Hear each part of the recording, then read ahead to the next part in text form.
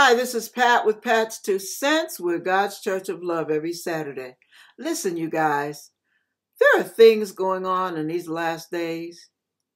There are so many games and political ins and outs and weather anomalies and sins that go beyond one's imagination, insanity levels that are out as far as the ozone layer.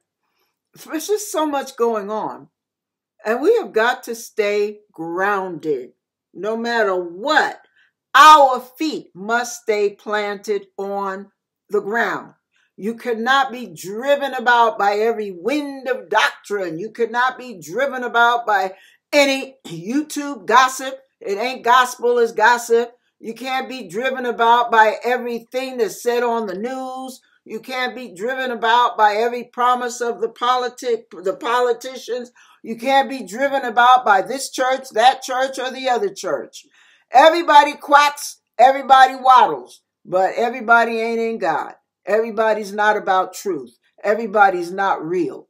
So we have to depend on God. Let's move to, I want you to go with me to James chapter 1. We're going to start with that one. James chapter 1. All right. James chapter 1, I'm going to start reading at verse 1. James, a servant of God and of the Lord Jesus Christ, to the twelve tribes which are scattered abroad, greeting. My brethren, count it all joy when ye fall into divers temptations, knowing this, that the trying of your faith worketh patience. But let patience have her perfect work, that ye may be perfect and entire, wanting nothing.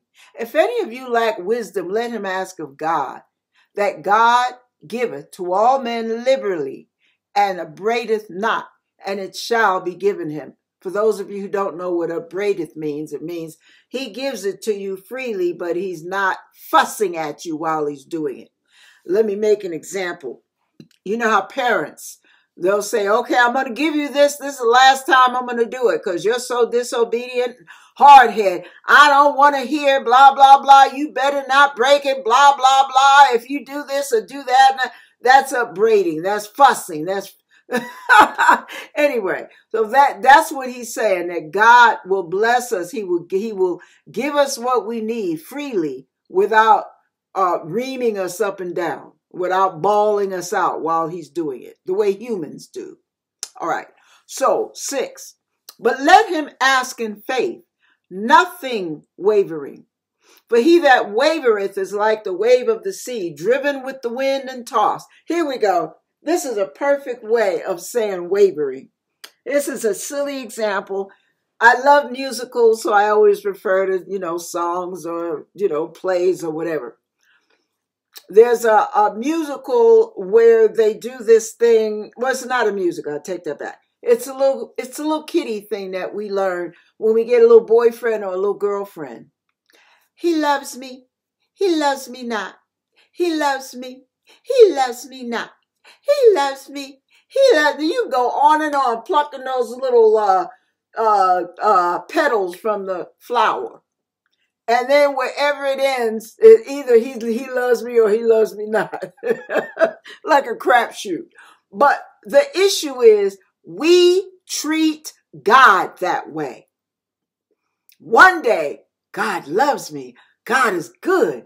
God is good all the time, all the time. God is good. And we have all these little church religious cliches. I'm sure they make him want to gag at times. But anyway, but we're good at dishing out the mess. We're good at, at dishing out the verbiage. But we're not always good at living up to what we're dishing out. So, you know, I put a plate, I fill a plate up with food, and you sit at the table and I sit at my side, you sit on your side. We both have our plate full of food sitting in front of us, but we're so busy talking, we don't ever eat the food. The food gets cold and we end up putting it away or heating it up for later. So there are times when you're so busy talking, you're not getting from God what He wants you to get. You're not getting the nutrition the strength, the inner strength, the joy, the peace. You're not getting that groundedness that settles your nerves that you need and you can only get from God and His Word. You can only get that through the power of His Holy Spirit by faith. But you're so busy running your mouth.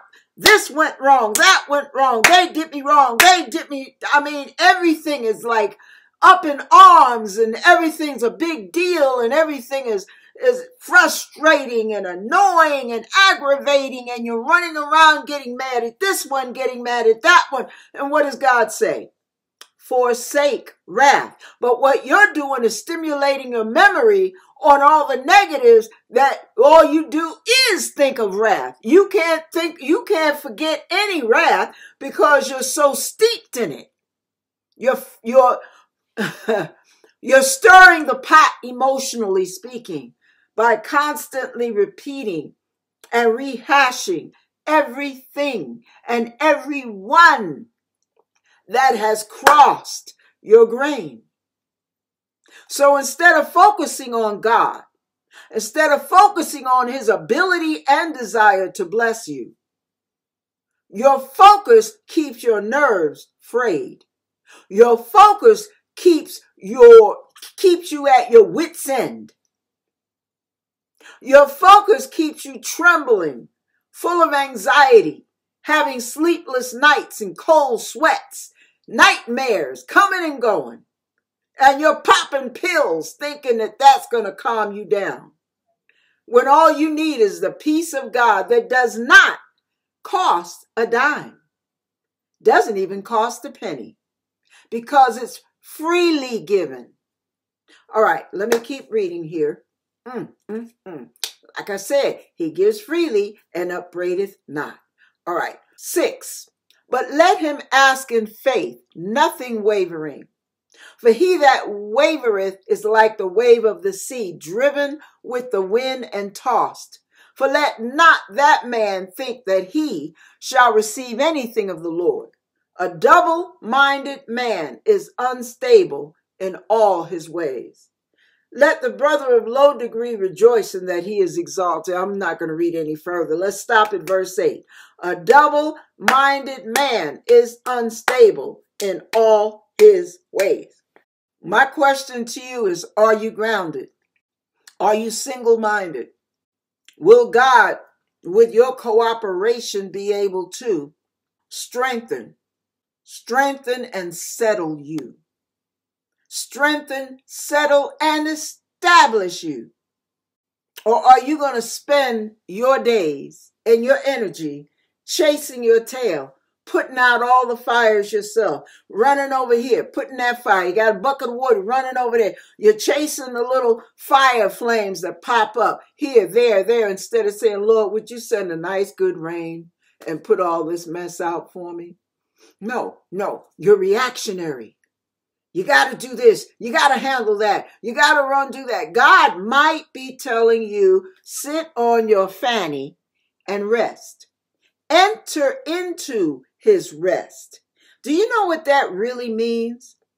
It means that you're entering into your faith in God. You're leaning on Him. You're trusting on Him. So what you do, you're trusting in Him. So what you do is you sit. You take an extra minute that you can't even afford to take and you pray for Him to extend time so you can pour your heart out to Him and put the day and your whole situation in His hands. And then you're not rushing down the street almost tailgating and crashing into people's cars. You're not almost running people over trying to get b- before the light turns red, almost causing accidents because you're in such a hurry because you got to get this done. No, you're resting in Him to resolve the problem. Whether you get there or not, you trust that God will work out the details problem with most of us is there's very little trust in God because we live in a microwave society. We live in a cell phone society. We live in push button, voice activated, uh, uh, clap your hand, whatever it is, everything happens instantly. If it takes a minute too long, we don't want to be bothered. I heard somebody talk uh, a couple of weeks ago saying that uh, they were very happy with the new form of ebooks because they don't like having to scroll. You scroll up, you scroll down, not a big deal. But they don't even want to take a minute to do that because we are so spoiled with instantaneous living that we don't have the time to take our time. Everything doesn't have to be rush, rush, hurry over here, hurry over there. But that's the way we have been programmed. All right, so let's move on to, and what ends up happening when you're programmed like that, you're so busy jumping to the beat that you don't even take the time to get instruction from God. And then when things start to falter, you get mad at God because why couldn't He have helped me with this? Well, did you sit down and take the time? Or did you jump up and handle it yourself? Because you don't even have time to pray. Hmm. All right. We're going to Hebrews chapter 4, starting at verse 8, starting at verse 9, excuse me. There remaineth therefore a rest to the people of God. For he that is entered into his rest, he also hath ceased from his own works, as God did from his. Let us labor, therefore, to enter. Now, doesn't that sound like an oxymoron? Let us labor, therefore, to enter into that rest. So you got to work at it. You got to work at getting your rest. Isn't that funny? But that's what it says. Let us labor, therefore, to enter into the rest, lest any man fall after the same example of unbelief. For the word of God is quick and powerful and sharper than any two-edged sword, piercing even the dividing asunder of soul and spirit and of the joints and marrow, and is a discerner of the thoughts and intents of the heart. Neither is there any creature that is not manifest in his sight. But all things are naked and open unto the eyes of him with whom we have to do. Seeing then that we have a great high priest that is passed into the heavens, Jesus, the Son of God, let us hold fast our profession. For we have not an high priest which cannot be touched with the feeling of our infirmities, but was in all points tempted, like as we are, yet without sin. Let us therefore come boldly unto the throne of grace that we may obtain mercy and find grace to help in time of need. Listen, listen, listen. Some of you, you have your own businesses, ministries, schools, merchant, uh, overseas, what do you call it? import, export. You have all these different things going on. Some of you have three, four, five things. You're doing import, export. You're doing real estate locally, right? You're tutoring in your neighborhood and you're traveling to do ministry or you're traveling to do all types of business negotiations to build up your corporate structure. Well, what I want to say to you is, why don't you shave off some of that? Because the only thing that's going to keep you running, chasing over here, chasing over there, ch- running over there, running up here, running down there, going backwards, going forwards, going sideways, going, and next thing, you put your right foot out, you put your left foot in, and da da da da da, and you turn it all about. You do the hokey pokey and you turn yourself around. That's what it's all about. And you're living your life that way. You're living your life that way.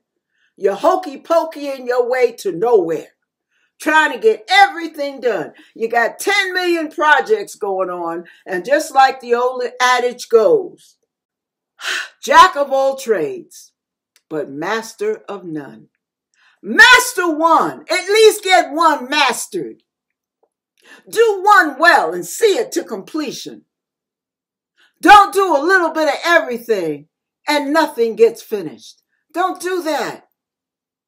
Don't be the tumbleweed when the wind blows south and you're sitting there on the north end of the street and it starts blowing you and you're rolling around, bouncing and bumping into this, bumping into that. You have no destination, but you're moving. You're moving fast because that wind is blowing. It's pushing you. Some of you are pushed by a force, an invisible force called pride.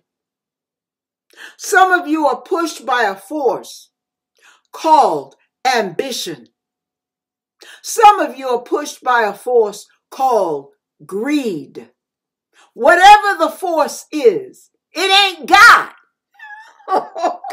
so you are allowing yourself, like a tumbleweed, to be tossed over here, tossed over there, and, and with every wind of doctrine. You hear something good over here, you get into this business venture. You hear something over here, you're gambling on that. You hear that, you go, you decide you're going to invest. Oh, that's going to be a good business deal. You know what? Sit your happy hips down. First, or let me say it the way the Bible says it seek first the kingdom of God and his righteousness. And all those other things that God allows will be added unto you. But you don't need everything all at once. You're not good at juggling. So why do you keep doing it? Things get dropped. People get hurt. Things get cheated. People get cheated. People get done wrong. Why? You meant to do well, but oh, whoops, oh well. No. That's not glorifying God and it doesn't make you look good either. So you have to stop. Take a minute to get your equilibrium. Take a minute to get your bearings. Spend time with God. Seek Him for His wisdom. Seek Him for His correction. Seek Him for His guidance. Seek Him for, seek Him for wisdom and instruction. Because if you go God's way, you're going to prosper. He'll, he will prosper your way. But if you jump around like a chicken with your head cut off, running over here, running over there, dashing here, dashing there, being pushed over yonder, being pushed south, pushed west, pushed north. You don't know where you're going. You, there's nothing that's going to be completed. But you're happy because you made some accomplishments along the way. But look at how much further you could have gone had you stayed focused. Everybody cannot do 10 things at one time. And you have to ask yourself, you know where he says he uh, he knows the joints and marrows, the intents of your heart. Why are you doing all this? Sometimes you have to be still Remember that He is God, not you. Sit your fanny down and say, Lord, examine my heart. See if there be any wicked way in me. Are my motives pure? Or am I trying to make a name for myself? Honey, am I out there trying to make that almighty dollar so I can shine and bring all people to me? Because I'm Mr. and Mrs. Wonderful, whichever you are. You know, you have to really seek God. Why are you doing this? Why are you doing that? Are you really trying to do those kids good? Are you really trying to help that orphanage? Are you really into being a philanthropist, helping all these charities? Why are you really doing what you do? Hmm. Are you making sure that you let people know what you did, what you gave, where you went, how much you gave them, how much you did for them? Hmm? And what does that do for you? Why must you tell a human being what you do in ministry? Unless you need a little, ah, you're so wonderful. Hmm. You know, I was thinking last night, I was talk, kind of talking to the Lord. I have these weird conversations. And I was saying, you know, Lord, sometimes I wonder when I look at your people doing things for so many people, doing so many things with only one body to do it with, sometimes I wonder while people seem to be burning the candle at both ends, while people seem to be wearing 10 hats all at once, I wonder what is the innermost need? Are they obligating people to be there for what for that moment when they need them? Is that their way of keeping people indebted to them? Like indentured slavery? Why do people do what they do? Why do people do the good that they do? What is the real reason? Is it because, okay, let's let's make it personal. Let me talk from a first person standpoint. Uh, I'll do a little role play. Well, now let's see. I might be insecure. I might have a low self esteem. I might not think that much of myself. So, the way to make up for that, I know what I'll do. I'll let everybody know how wonderful I am. I'll do this for Brother Appleseed. And then I'll go over there and I'll give uh, a thousand dollars or two thousand dollars to that church over there and I'll make up, I, I'll make sure I stand in line when they call for the thousand dollar givers so everybody will see I'm one of them. I'm a big giver. See how generous I am? Ain't I Mrs. Nice Guy? Yeah. See, sometimes what God looks at when we do what we do, so uh, air quote, in the name of God, is sometimes he sees it as an abomination because he knows why we're really doing it. He knows that one day you're going to remind somebody of all you did for them. And you're going to let them know what a monster they are for not coming to your rescue. Even though, check it out, even though God's word says when you do for somebody, Number one, don't sound the trumpet and let everybody know what you did. Number two, the other thing you don't do is wait for them to return the favor. Because if you really did it from your heart, you're done. You're excited because it blessed them. You're not writing on the list, okay, I did that for her, I did that for him, I did that for him. Okay, so let me write their names down so I know who to go to when I'm when I need some help, they better come through for me after all I did for them. Hmm, think about that. So, our subtleties, sometimes what we do is not always for the right reason or for honorable reasons. Another thing we have to make sure we're careful of. Whew.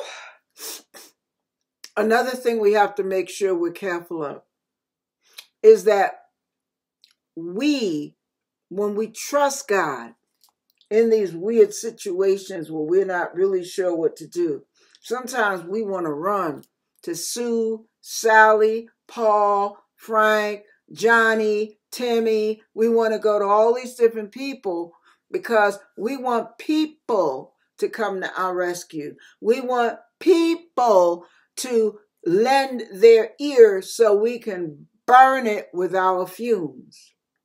We want an audience to hear our woes. We want pity. We want sympathy. And hopefully it will end up in cha-ching. You see what I'm saying? Because some of us are manipulative and we don't know it. We think we are holier than thou we think we're as righteous as, as Jesus. But when we do see a fault in ourselves, we're like that man that looks in the mirror and said, like the Fonz, he looks in the mirror to make an adjustment with his hair and he leans back like, oh, there's nothing to improve here. Let me move on. And that's the way many of you see your walk with the Lord. You see yourselves as there's nothing to fix here. I'm good with God. God's good with me. We're in like Flynn. Show you right. And you don't do anything. You point out everybody else's faults. But here's the comical part. Have you ever heard yourself point out someone else's fault? Have you ever had a moment where God mirrored what you were saying? And you actually remember that you did the exact same thing, or you still do the exact same thing you're pointing the finger at them for being wrong at, and you're just as wrong, but you're telling other people what they did wrong, and they're looking at you like, but baby, you do the same thing, so why are you fussing? We do that all the time, y'all. See, when we go through, the thing that shows who you really are is not only what you do in private when nobody's looking. What do you do under pressure? How do you act when the vicissitudes start to hit you like white on rice? The fan is blowing and it's all hitting the fan. And you're at your wits' end. What do you do? What's your attitude like? How's your disposition? How do you treat other people around you when you're going through? Hmm.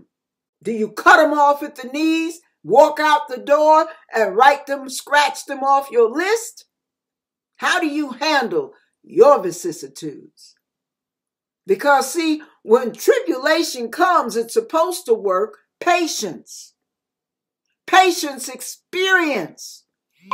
And experience is supposed to bring hope. But some of you, you get worse and worse. You go down this rabbit trail, and before you know it, you are a runaway train. Just in a second, you're going to crash. It's, it's an accident waiting to happen. Or you are a time bomb ticking away, getting ready to explode at any given moment because you're so far under pressure, you forgot to go to your vow, God, and ask Him to relieve your pressure so that you could enter into His rest and have peace in the middle of a storm. You could have that peace that passes all understanding. How? When you keep your mind stayed on Him. When you lean on Him for all that you're not good at. And what you are good at, you need more help more than what you're good at. So you go to the solver of your problems, the lifter up of your head. He that strengthens you on the inner man, the one with all the answers, who goes ahead of you and guards your rear, guards your back. But no, you got this, don't you? How's it working out for you?